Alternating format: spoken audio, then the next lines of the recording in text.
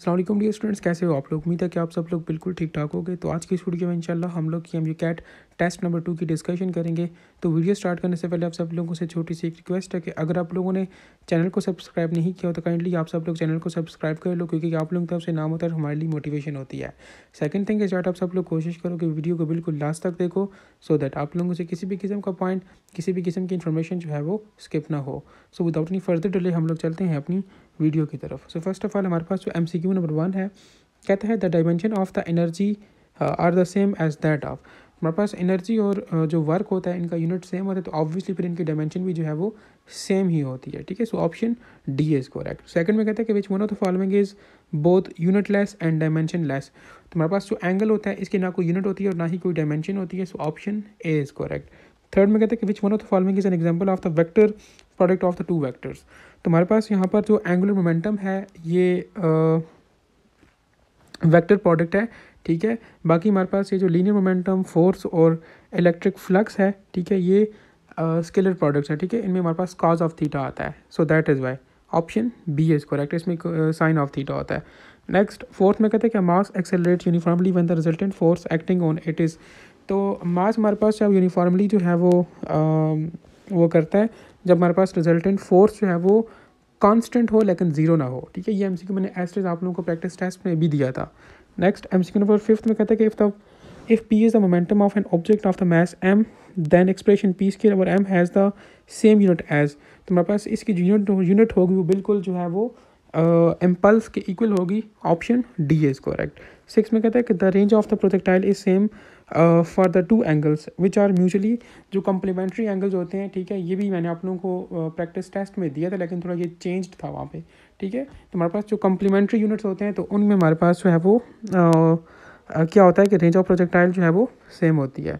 Option C is correct सहमत में कहते हैं कि man threw the ball vertically upward while standing in a train moving with uniform velocity the ball will fall तो ball जो है वो बिहाइंड जो है वो उस बंदे के बिहाइंड जो है वो फॉल होगी। Option C is correct eighth में कहते हैं कि which one of following is conservative field हमारे पास ये जो तीनों फील्ड्स हैं ग्रेविटेशनल फ़ील्ड इलेक्ट्रिक फ़ील्ड और मैग्नेटिक फ़ील्ड ये तीनों जो है वो कंजर्वेटिव फील्ड्स हैं। So option D is correct next M C number nine में कहते हैं कि flywheel rotates at a constant speed of three hundred R P M R P M यहाँ पर जो है वो रेट पर मिनट को जो है वो रिप्रेजेंट कर रहा है। कहते हैं कि the angle describe by the shift in radian in one second तो ये बहुत आसान है, ठीक है? इसमें आप लोगों के पास जो ऑप्शन सी जो है वो करेक्ट है। अब इसको सॉल्व कैसे करना है तो आप लोगों को आगे पिक्चर मिल जाएगी, उसमें जो है वो कंप्लीट मैंने सॉल्व की, आप लोग वहाँ से इसको देख सकते हो।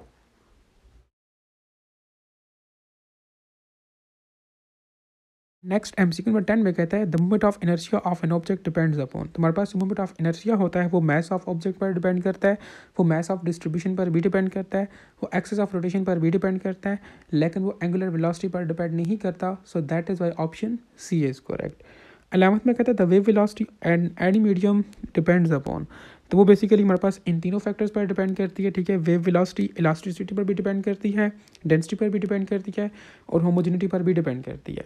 Option D is correct twelfth में कहता है कि number of loops in the stationary waves depends upon तो वो फ्रिक्वेंसी ऑफ़ वेव्स पर डिपेंड करते हैं number of loops so option D is correct third में कहते हैं कि Doppler effect is applicable to तो हम लोग डॉप्टर इफ़ेक्ट को जो है वो साउंड वेव्स और लाइट वेव्स दोनों पर जो है वो अप्लाई कर सकते हैं.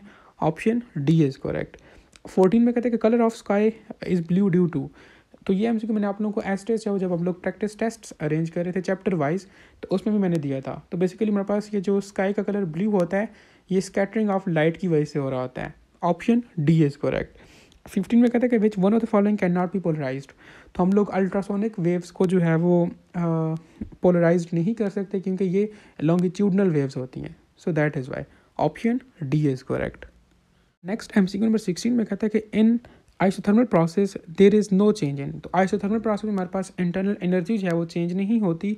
So option C is correct seventeen में कहता है कि the heat engine operating in reverse तो जब हीट इंजन जो है वो रिवर्स जो है वो ऑपरेट किया जाता है तो वो हमारे पास एज एन रेफ्रिजरेटर वर्क करता है। Option B is correct eighteen में कहता है the ratio of the heat accepted to the heat rejected by the Carnot engine gift देखो हीट एक्सेप्टेड और हीट रिजेक्टेड ये बेसिकली इनपुट और आउटपुट की बात की जा रही है, ठीक है? तो हमारे पास ratio of input to output हमारे पास एफिशिएंसी की इक्वल होता है। So it it will gives the efficiency of the working substance option A is correct next nineteen में कहते हैं कि सॉप बबल इज़ चार्ज तो जब भी हम लोग सॉप बबल को चार्ज करते हैं तो उसका साइज़ जो है वो इंक्रीज़ होता है। Option B is correct twenty में कहते हैं कि ohm farad is equal to तो ये मैंने आप लोगों को प्रीवियसली प्रैक्टिस टेस्ट में भी दिया था। प्रैक्टिस टेस्ट नंबर सेवन में कि ओहम और फेराड को हम लोग मल्टीप्लाई करें तो हमारे पास जो है वो सेकेंड के इक्वल आता है। Option A is correct twenty first में कहते हैं कि यूनिट ऑफ़ कंडक्टेंस तो हमारे पास कंडक्टेंस का यूनिट जो है वो मोहो है M H O option D is correct twenty two में कहते हैं कि moving charge particle is surrounded by तो वो तीन फ़ील्ड से जो है वो सराउंडेड होता है, एक moving charge option C is correct next M C Q number twenty three में कहता है the time rate of change of magnetic flux has the same dimension as that of तो हमारे पास the time rate of change of magnetic flux की जो dimension है, वो equivalent है पोटेंशियल डिफरेंस के साथ so option D is correct ये एम सी क्यू मैंने आप लोगों को I think practice test number six या सेवन में जो है वो एस्ट्रिस दिया था। Next M C Q twenty fourth में कहते हैं transistor in a circuit basically acts as तो बेसिकली हमारे पास जो ट्रांजिस्टर होता है, वो तो एज एन करंट एम्पलीफायर भी वर्क करता है और वोल्टेज एम्पलीफायर के तौर पर भी एक्ट करता है. लेकिन किसी सर्किट के अंदर बेसिकली हमारे पास जो ट्रांजिस्टर होता है, वो एज एन करंट एम्पलीफायर के तौर पर जो है, वो एक्ट कर रहा होता है. So that is why option C is correct twenty fifth में कहते हैं the reverse process of the photo electric effect तो फ़ोटो इलेक्ट्रिक इफ़ेक्ट का रिवर्स प्रोसेस है, वो एक्सट्रेस प्रोडक्शन है. Option A is correct twenty six में कहते हैं तो total energy of the hydrogen atom in its ground state तो किस हाइड्रोजन आइटम की जो टोटल एनर्जी है, उसके ग्राउंड स्टेट में वो नेगेटिव होती है option B is correct E M C में मैंने आप लोगों को जो है वो एस्टेज प्रैक्टिस टेस्ट में जो है वो दिया हुआ था। इस टेस्ट में भी और पिछला जो टेस्ट नंबर वन था, उसमें भी काफ़ी ज़्यादा एम जो है वो मैच कर रहे थे हमारे प्रैक्टिस टेस्ट के साथ।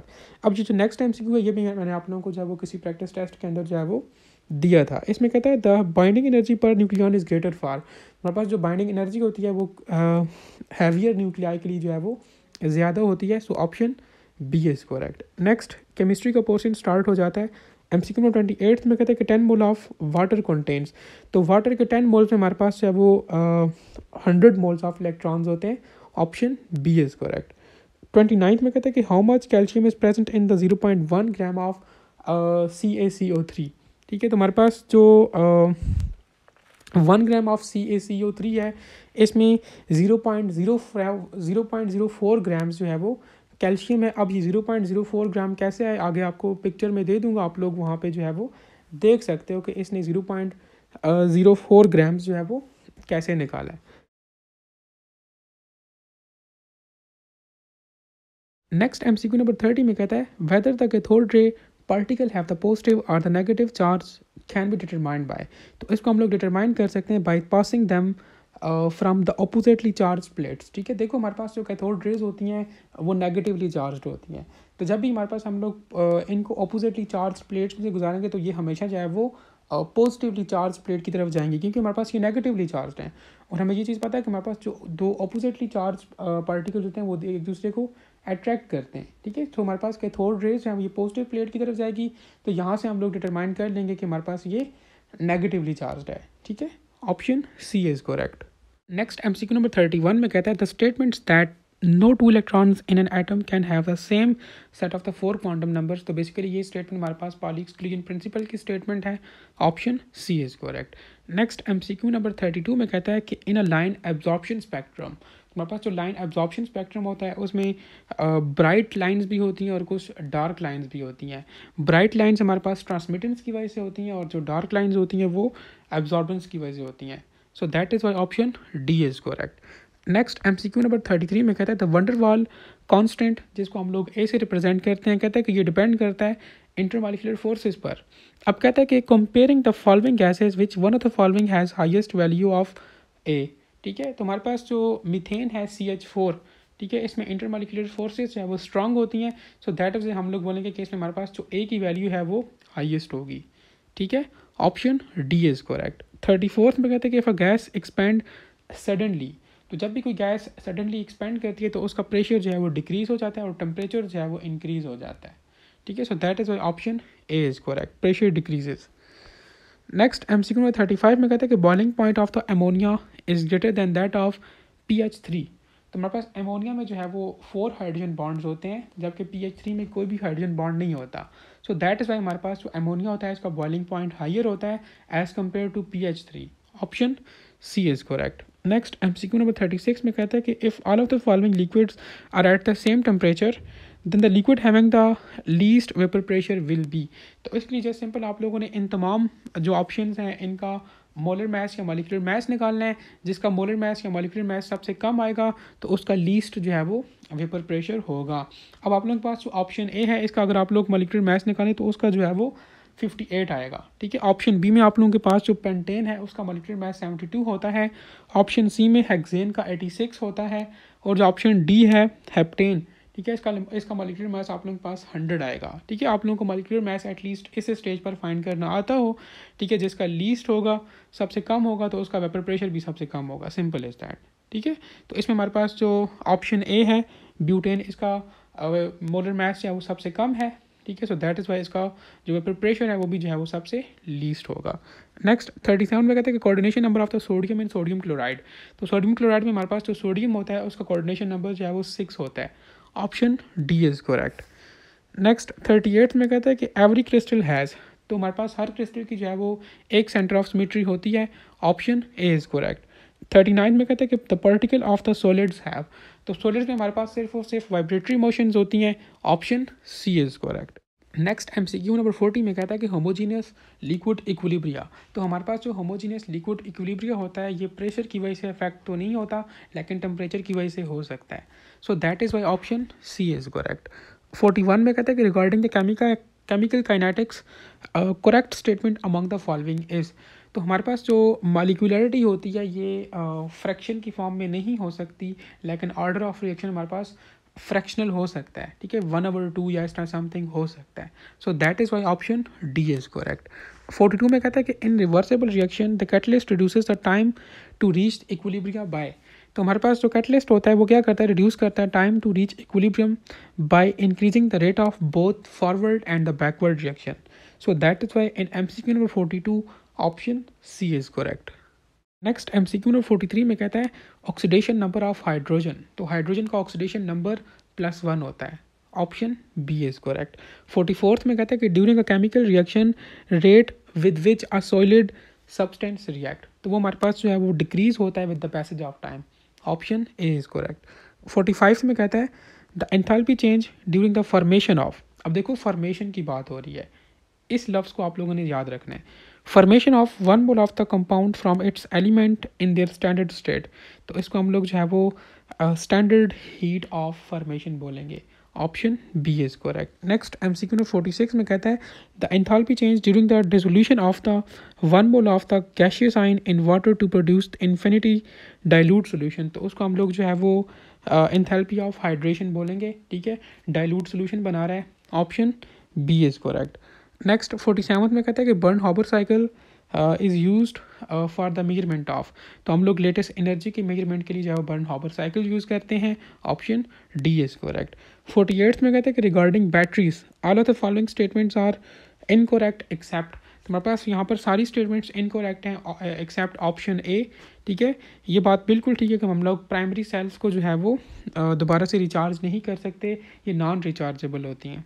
Option A is correct forty three में कहता है सॉरी फोर्टी नाइन में कहता है कि which one of the following is the electronic configuration of the alkali earth metals of the third period तो इसमें ऑप्शन ए जो है वो करेक्ट है, ठीक है? ये हमारे पास इलेक्ट्रॉनिक कॉन्फ़िगरेशन है alkali metals of the third period next fifty में कहता है कि all of the following are basic hydroxides except तो ये हमारे पास सारे बेसिक हाइड्रोक्साइड्स गिवन है, ठीक है? इसमें कोई भी एस्टिक या एम्फोटेरिक नहीं है so option D is correct none of these next M C Q number fifty one में कहता है कि which chloride of the lead is ionic in nature तो यहाँ पे मैंने आप लोगों को ये M C Q practice test में भी दिया था कि लाइक जिस कंपाउंड की जो है वो ऑक्सीडेशन स्टेट जो है वो कम हुई तो वो आयोनिक बॉन्ड बनाएगा, अगर ज़्यादा हुई तो वो कोलेंट बॉन्ड बनाएगा। अब यहाँ पे हमारे पास जो P B C L two है, इसकी कम है सो दैट इज़ वाई ये आयोनिक बॉन्ड बनाएगा, ठीक है? आयोनिक इन नेचर होगा। Option C is correct next fifty two में कहता है कि with increase in number of unpaired electrons paramagnetism तो नंबर ऑफ़ अनपेड इलेक्ट्रॉन्स को इंक्रीज़ करने से पैरामैग्नेटिज्म जो है वो इंक्रीज़ होती है। Option A is correct next fifty three में कहता है कि most of the catalytic elements are their compounds belong to तो हमारे पास जो ट्रांजिशन एलिमेंट्स होते हैं ठीक है मोस्टली ये डी ब्लॉक एलिमेंट से जो है वो बिलोंग uh, करते हैं ठीक है। हमारे पास मोस्टली जो डी ब्लॉक एलिमेंट्स के जो कंपाउंड्स हैं ना सो डी ब्लॉक एलिमेंट्स हैं ना ये uh, जो है वो एज एन कैटलिस्ट जो है वो वर्क uh, करते हैं। ये आप लोगों ने ट्रांजिशन एलिमेंट वाला चैप्टर पढ़ा होगा। उसमें भी ये चीज़ इसमें मैंशनड है। नेक्स्ट फिफ्टी फोर्थ में कहता है the precise definition of organic chemistry is तो वो यही है कि study of carbon containing compounds option A is correct next fifty five में कहते हैं to count the cells which apparatus is use तो सेल्स को काउंट करने के लिए सिंपल हम लोग माइक्रोस्कोप ही यूज़ करते हैं। Option D is correct fifty six में कहते हैं कि nine outer pair of the tubules and two single central tubules are present in the internal structure of अब यहाँ पे मोस्टली लोगों ने जो है वो सेंट्रियोल्स पर जो है वो टिक किया होगा, लेकिन इसमें जो आप लोगों के पास करेक्ट ऑप्शन है वो सिलिया एंड फ्लेजिल है। ऑप्शन सी इज़ करेक्ट ठीक है? आप लोग इसको खुद भी सर्च कर सकते हो बुक से भी देख सकते हो गूगल से भी देख सकते हो, इसमें ऑप्शन सी ही करेक्ट है।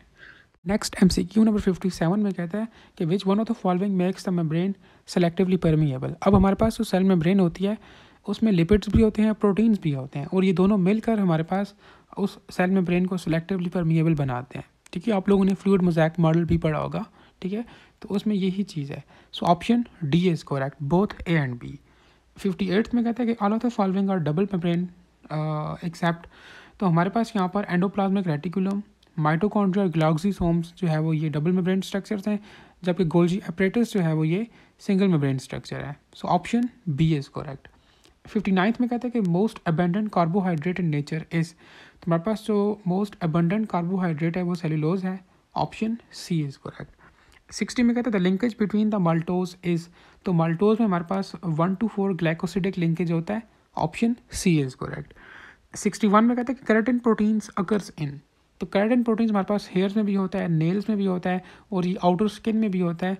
So option D is correct all of these sixty two में कहता है कि enzymes are all enzymes are chemically तो हमारे पास ये जो एंजाइम्स होते हैं, ये प्रोटीन नेचर होते हैं option is correct sixty three में कहते हैं तो optimum P H value for the catalase तो कैटालेज जो एंजाइम है, इसका पी एच जो है, वो सेवन होता है option A is correct sixty fourth में कहता है कि all of the following are true for the enzymes except तो हमारे पास जो एंजाइम्स होते हैं, ये ग्लोबुलर प्रोटीन्स होते हैं, ये केमिकल रिएक्शन को कैटालाइज करते हैं, ठीक है?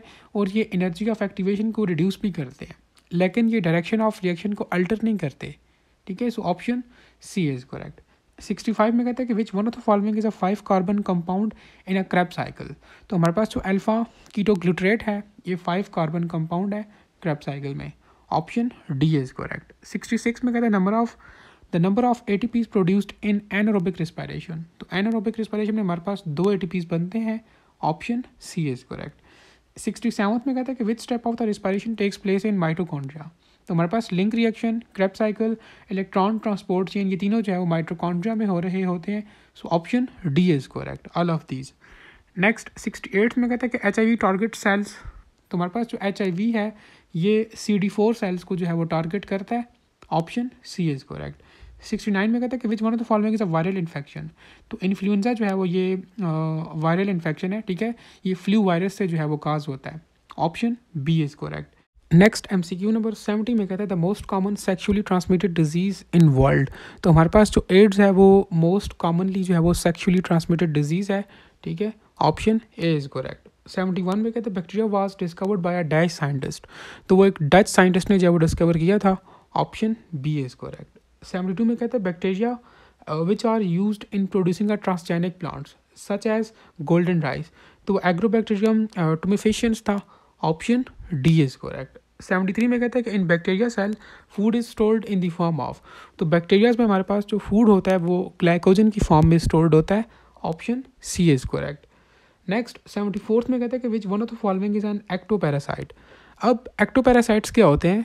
एक्टोपैरासाइट्स वो होते हैं जो कि लाइक होस्ट जो ऑर्गेनिज्म होता है या होस्ट सेल होता है, उसकी आउटसाइड सरफेस पर जो है वो जो अटैच्ड होते हैं, उनको हम लोग एक्टोपैरासाइट्स कहते हैं। और जो इन साइड पर होते हैं, उसको हम लोग एंडो कहते हैं।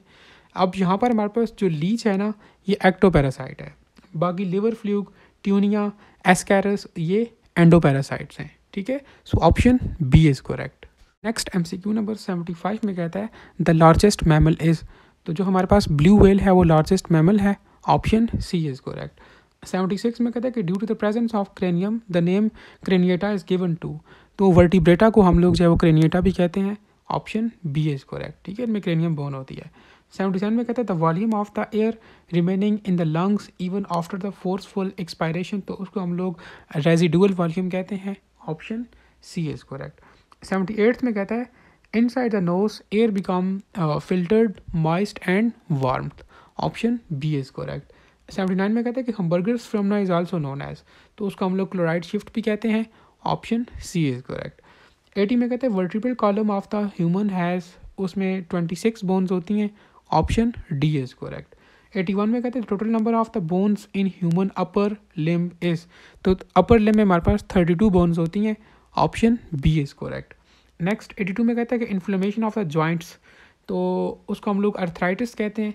Option A is correct eighty three में कहता है कि for every two potassiums that are actively transported in world how many sodiums are pumped out तो दो पोटाशियम के बदले में हमारे पास जो है वो तीन सोडियम जो है वो बाहर आते हैं. ठीक है? Option C is correct eighty fourth में कहता है कि which one of the following act as a neurotransmitter in the sympathetic nervous system तो इसमें हमारे पास जो एड्रेनालिन है, वो as a neurotransmitter work करता है या एक्ट करता है सिंपैथेटिक नर्वस सिस्टम में।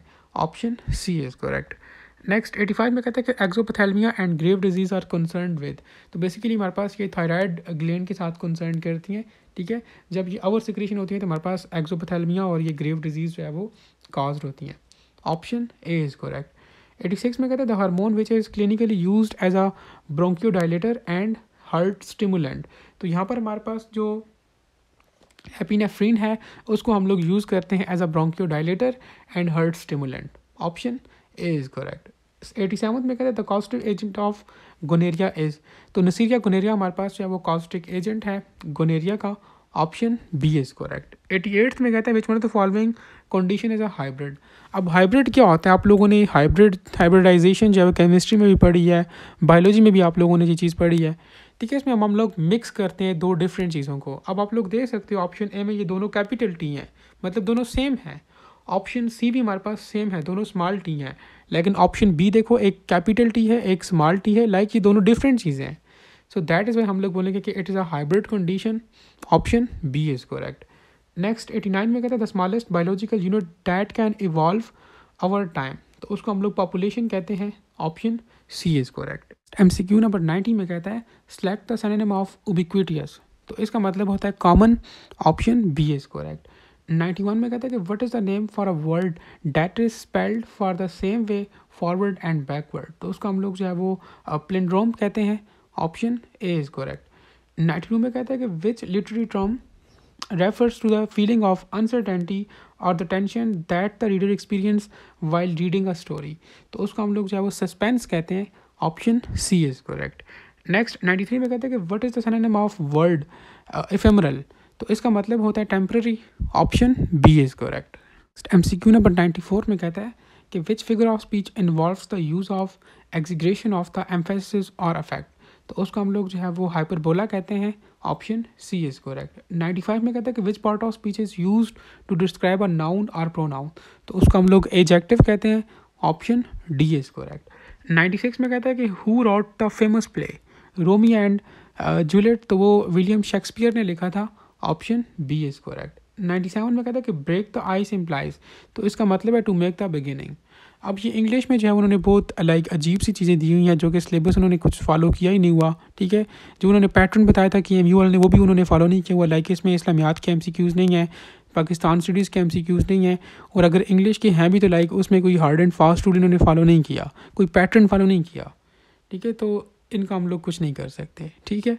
सो नेक्स्ट हमारे पास M C Q number ninety eight में कहता है कि what is the ethics primarily concern with तो एथिक्स हमारे पास है, वो कंसर्न करता है with the morality option B is correct ninety nine में कहता है कि which one of the following is an essential component of the ethical behaviour तो हमारे पास जो होनेस्टी एंड इंटेग्रिटी है, ये कंपोनेंट्स हैं एथिकल बिहेवियर के।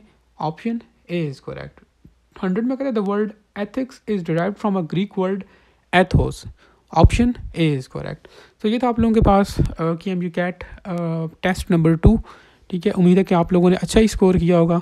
आप लोग अपने मार्क्स ज़रूर जो है वो कमेंट सेक्शन के अंदर बताएँ। और बाकी कोई मिस्टेक होती है एमसीक्यू में तो वो भी आप लोग बताएँ ठीक है? क्योंकि ह्यूमन एरर हो सकता है ठीक है? लाजमी नहीं है कि जो एम हमने बताए हैं। हमने कोशिश की है कि लाइक जो बेस्ट ऑप्शन है वो आप लोगों के लिए हम लोग चूज़ करें लेकिन फिर भी ह्यूमन एरर के चांसेस होते हैं। तो आप लोग वो कमेंट सेक्शन के अंदर नोट बता दिया करें सो uh, दैट so हम लोग उस उस कमेंट को पिन कर लिया करें और बाकी स्टूडेंट्स भी जो है वो वहाँ से फिर देख लिया करें ठीक है? कोई क्वेश्चन वगैरह तो आप लोग कमेंट सेक्शन के अंदर पूछ सकते हो। Thank you